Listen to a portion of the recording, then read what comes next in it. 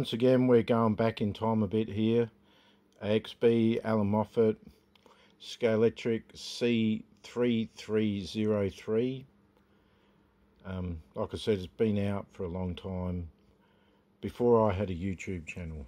So, and it's typical of the XBs. It doesn't have the external mirrors, which is a shame.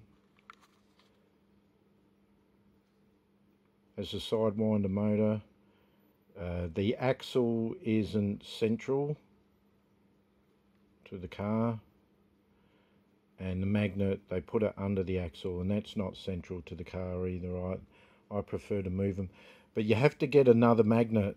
The one that's in the car is 1.5 millimeter and that front spot there requires a 2 millimeter magnet. So you do have to buy them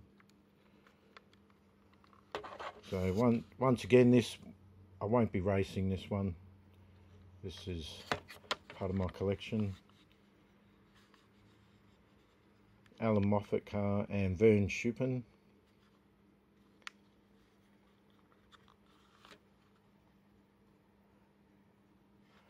Looks pretty good, except same issue every time because it's the same mould the rear quarter panels aren't wide enough. It does show the the panel between the window and the boot. So, but it's the same mold. So, it's the same car.